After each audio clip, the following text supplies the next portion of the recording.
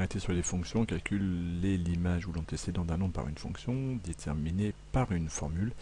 C'est donc le deuxième exemple sur le sujet. On me donne donc la fonction f définie par la relation f de x égale à 4x plus 5 et on me demande de calculer f de 3, soit l'image de 3.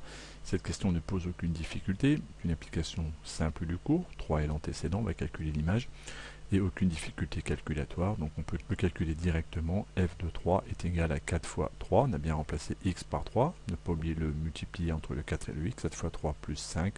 12 plus 5, 17. f de 3 égale à 17. La deuxième question est un peu plus difficile. On me demande quel est l'antécédent de 0. Donc on voit bien que la question change. On cherche maintenant l'antécédent. Quel est l'antécédent de 0 Donc je cherche bien l'antécédent. Et donc 0 n'est certainement pas un antécédent, mais l'image.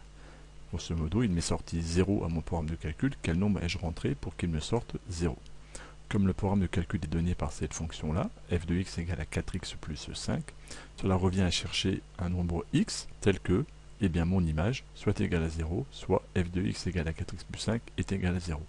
En posant ça, je cherche bien x, mon antécédent, tel que mon image est égal à 0. Et on comprend bien que f de x là ne me sert plus à rien. Ce que nous allons résoudre, c'est cette, équation-là. 4x plus 5 est égal à 0. Cette équation est facile à résoudre. 4x plus 5 est égal à 0. On fait moins 5 de chaque côté du signe égal. Cela revient à résoudre 4x égale à moins 5, soit x est égal à moins 5 k. Et cela a permis de conclure que l'antécédent qu'il faut rentrer pour obtenir une image 0 est moins 5 k. Autrement dit, l'antécédent de 0 est moins 5 k.